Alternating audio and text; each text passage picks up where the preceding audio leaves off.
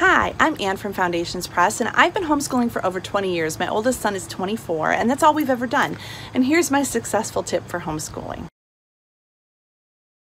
I wanted to show you things that you could get at your local dollar store or just a general store that would be super cheap so that you don't have to spend very much on this part of your curriculum and you can invest in getting good curriculum for math for your kids. Um, one of my favorite things I wanted to show you is these straws. I mean, how cheap are straws? And what I did is I also got some rubber bands and I made 10 in each pack. So I have 10 of these packs and then I have about 10 loose straws.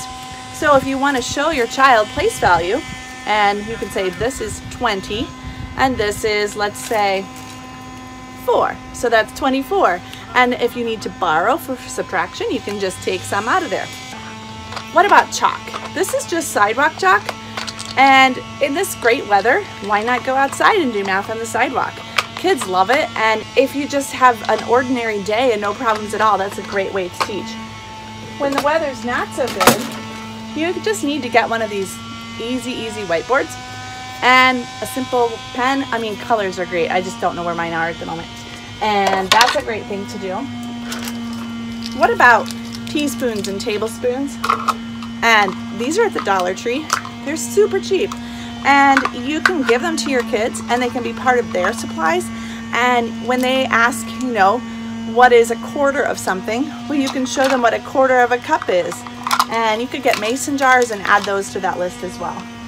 This one's fun. This one I have had for over 20 years and it's really looking like it. But these are just some Dixie cups and you can set them out and then this is a bag of buttons and you can get buttons super cheap at like Walmart and you can do all kinds of things with buttons from sorting to um, multiplication. I like to print out a hundreds chart and then put buttons on all the things that we're working on that day gotta have coins. Okay, this isn't technically free, but everybody has coins sitting around.